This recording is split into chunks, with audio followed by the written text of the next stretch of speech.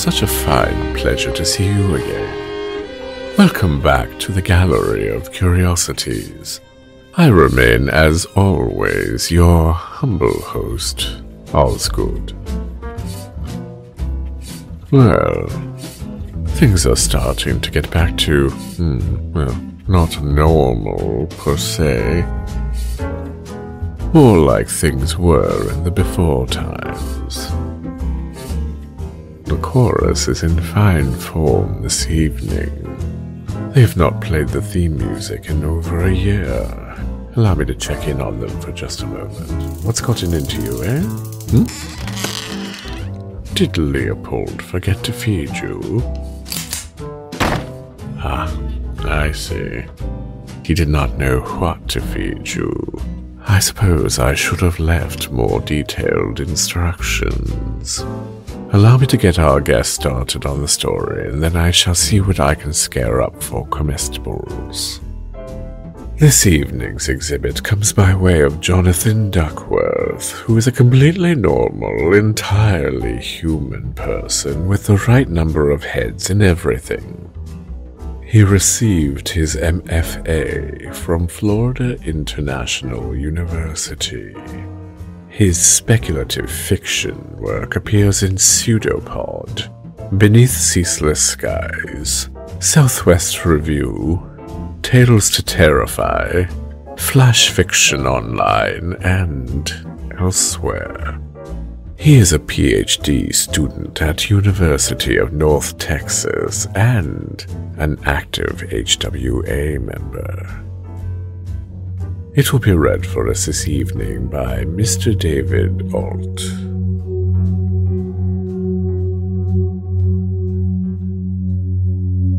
Silver Gloom by Jonathan Duckworth.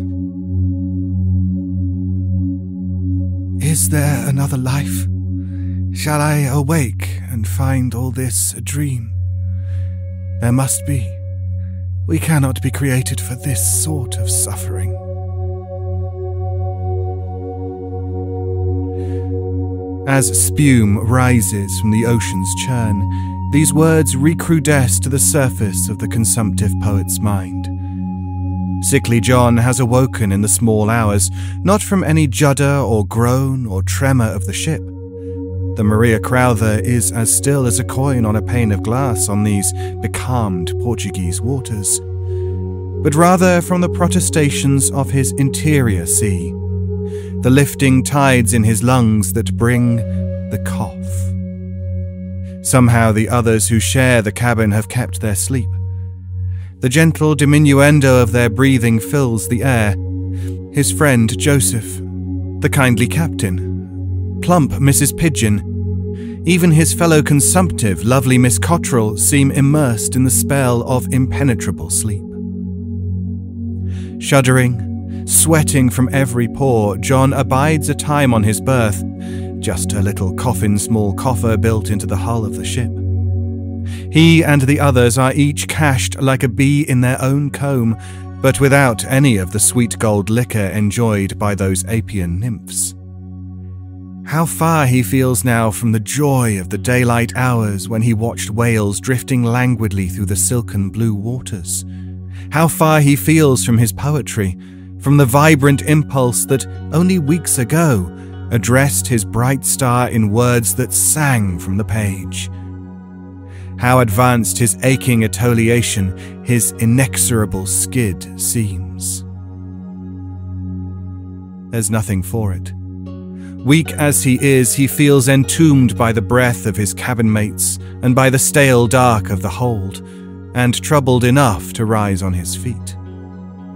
He is quiet, first collecting his shoes and then feeling his way to the door. As the door hinge creaks, a voice, that of his friend Joseph, dreamy, mutters through the dark, John? But John does not stop. She is such a small ship, the Maria Crowther, that he overhears the sailors quite chatter above decks. He liked the ship's name when he first heard of her, her wholesome English character, calling to mind a courteous country maid. She is not a passenger ship, this twin mast brig, but built for freight, chartered to ferry England's finest coal and its most sophomoric poetry to Naples. Soon he is on the deck, where the cool northerly night breeze, insufficient to fill the sails but enough to grace him, soothes his nerves and aches more than any elixir of mercury could. How it thrills him to think of the long sojourn those winds take from the hollows of brooding Arctic glaciers. Relief is a brief blossoming, as soon the cough shakes him, and the pair of sailors keeping watch midship turn to regard, and then just as soon forget about him, returning to their briar pipes and each other's laconic society. When he looks up, the night sky is like a field of driven snow, only not white, but the pale silver of ashes. There is one gap in this field and through it a blot of stelliferous black frames the waxing moon. John follows its rays to the glint on the rail of the ship's bow, and that is when he sees her. For a blink, John imagines it is Miss Cotterill out for a walk in the fresh air like himself, for the figure at the prow has the self-same litheness and grace as the ailing woman, but he recalls with a shudder that Miss Cotterill is still asleep, and that anyway she could not have come above decks without getting by him. There are only two women on the Maria Crowther, and both are now in the cabin. Who, then, does he now see reclining against the rail of the prow? A long, sinuous appendage, gauzed in diaphanous silk, beckons to him, and John feels his feet move before he quite makes the decision to approach. But even once he is aware of his own motion, he doesn't stop. Too curious, too entranced by the shimmer of moon on the woman's naked hair. The sailors watch him pass scarcely with a glance. Why are they untroubled by the woman's presence? They seem not to notice her.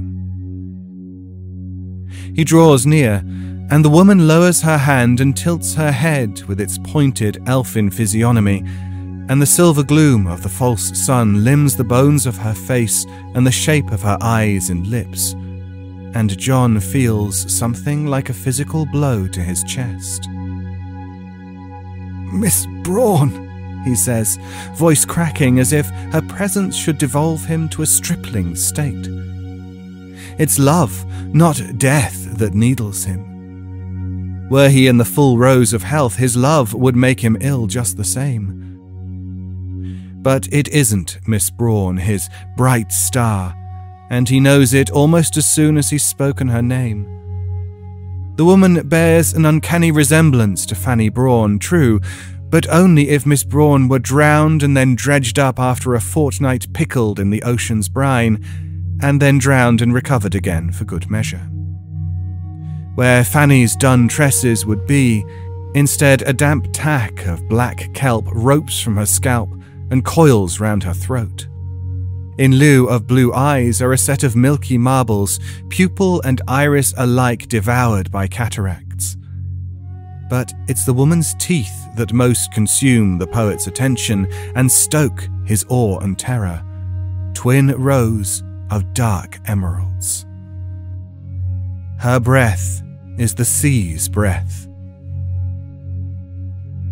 John Keats, at last you see me. His words catch in his throat and turn to a violent cough. The pain is brief and hot as a surgeon's spirit flame. When he has recovered, he replies, You know me, and yet I do not know you, miss. Tut tut, the woman says, and her finger brushes the sleeve of his shirt, and through the fabric he feels a chill that pierces to his bone, and a dampness that sods the cloth fast to his skin. He's a feckless lover to the last who will not see his bride. My. my bride? John looks to the sailors, and they do not acknowledge him at all this time, their eyes on the ocean. In your way you've loved me, and should I not love thee in turn, my Endymion? Or are you lovesick Porphyro? Or are you the gallant knight at arms, or perhaps the wretched wight? Her voice is playful, girlish. It is Fanny's voice, and yet not. He steps away, but the woman matches his retreat with a commensurate advance. Now, see here, good woman, he begins, addressing her as he might a troublesome hawker on a London street. But she cuts him off, arresting the speech from his throat with a wave of her hand. No, little poet, let's not bandy in common speech. Where is your lovely poetry for me now? You who called me now more than ever rich.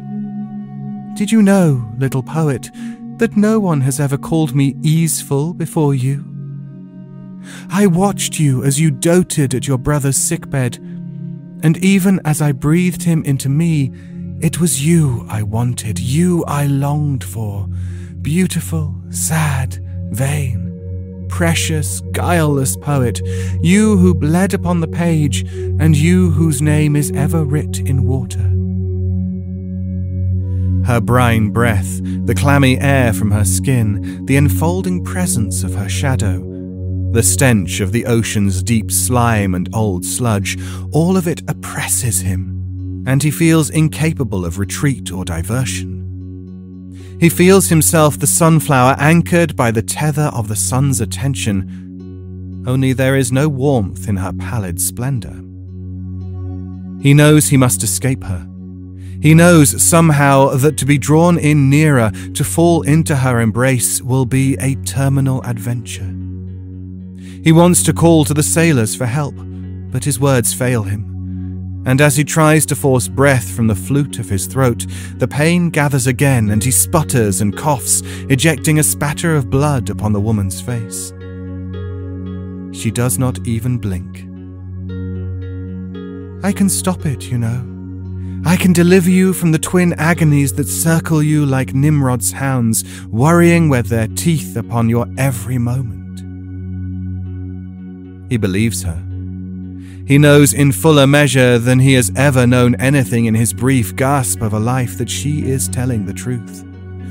To fall into splendid dreaming, to sink into the purple draught of the sea, to cast himself into her embrace, accept her touch, and be translated from all waking pain to an Ophelian serenity, to the anonymous property and numbing vintage of the deep and now she holds a hand to him. An Italian winter will not save you. You know this. You have seen too much, learned too much from your anatomist's books and the unhappy tack of your life. Why prolong our flirtation? Why not swoon to me? He holds a living hand to hers, and she does not grasp it but waits for him to lace his fingers through hers. But he hesitates. And then a voice calls to him from behind, one of the sailors, a Norwegian. Hey, Londoner! The sailor taps his briar pipe on the railing and glowers, as if he'd very much prefer not having to leap into the water to rescue a consumptive passenger. The woman is gone and John stands athwart the gunwale of the bowdeck. His hands grasp the railing, while one of his feet dangles over the other side. Oh, he says. Suddenly he is flooded with the all too familiar toxin of embarrassment. He climbs down from the gunwale, his face flushed. I rather forgot myself there for a moment. It was, he decides, a passing vision, a trick of the night. The sailors shake their heads and go back to their watch.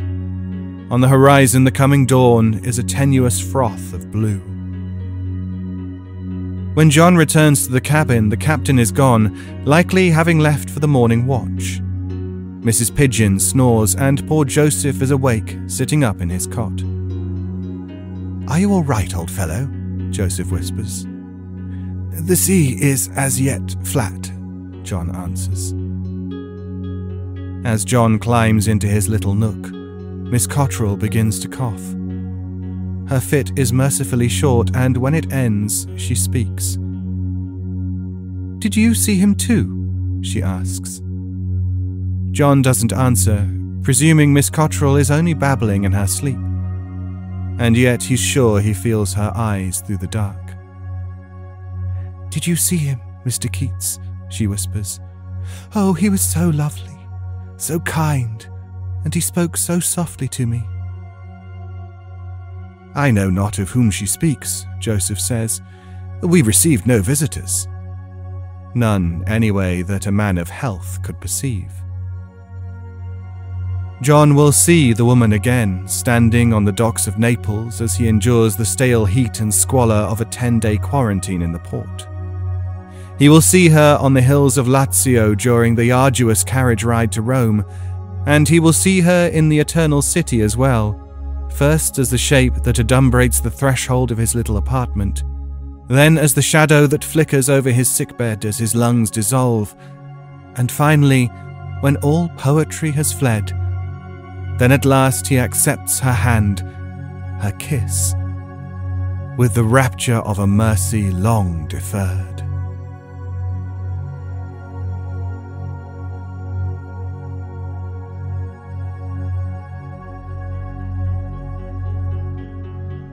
It is said that death is gentle the poet Keats made his rendezvous in the eternal city of Rome at only 25 years of age, the last of which was spent in the painful decline of tuberculosis. Strange to think that such a famous name had a career for only four years. It seems that death has been shadowing us all for these past two years. It will come for us all in the end. Hopefully, in a guise which is pleasing to us. Hmm? Have I ever met death? Well, that would be telling. However, one does not grow as old as I without having made some sort of arrangement. I shall tell you about that sometime, but first, I must say that this evening's reader was David Ault, a voice actor from North Yorkshire, UK. He started voice acting with darker projects in 2005, moving through the Byron Chronicles, Pendant Audio, and Colonial Radio Theatre, to modern day antics with Fool and Scholar, the No Sleep podcast team, and Shadows at the Door, the podcast. He is a big fan of tea, ghosts, and astronomy, and can be found online at David Ault on Twitter or davidault.co.uk.